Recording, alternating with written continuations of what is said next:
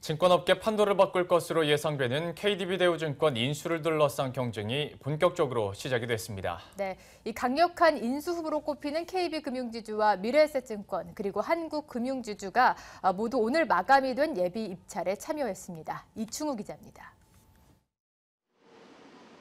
산업은행은 자기 자본 기준 업계 2위인 대우증권의 매각을 위한 예비 입찰을 실시한 결과 KB금융지주와 미래에셋증권, 한국금융지주 등 인수후보금 빅3가 모두 예비 입찰에 참여했다고 밝혔습니다.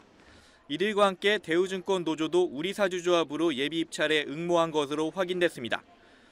산업은행은 이후 적격 인수후보를 추려 예비 실사를 진행한 뒤 다음 달 본입찰에서 우선 협상 대상자를 선정할 예정입니다. 이에 따라 대우증권 매각은 내년 상반기쯤 마무리될 것으로 보입니다. 매각 대상은 대우증권 지분 43%와 사는 자산운용 지분 100%입니다. 본격화된 인수전에서 후보자들이 제시할 인수 가격이 어느 때보다 중요한 변수로 부각된 가운데 매각 가격이 2조 원대를 넘어설 것이란 관측도 나옵니다.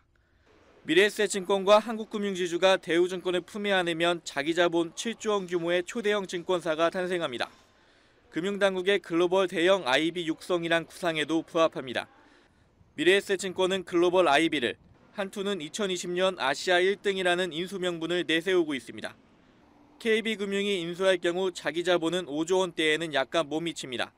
대신 KB금융은 대우증권의 상품 개발 역량을 활용해 3천만에 달하는 고객들의 자산 증대를 위해 노력하겠다는 방침입니다. 일본 오릭스 펀드로의 매각이 불발된 현대증권이 대우증권 인수전의 새로운 변수로 등장할 것으로 예상됐지만 아직까지는 큰 영향을 미치지 않고 있습니다. 머니투데이 방송 이충호입니다.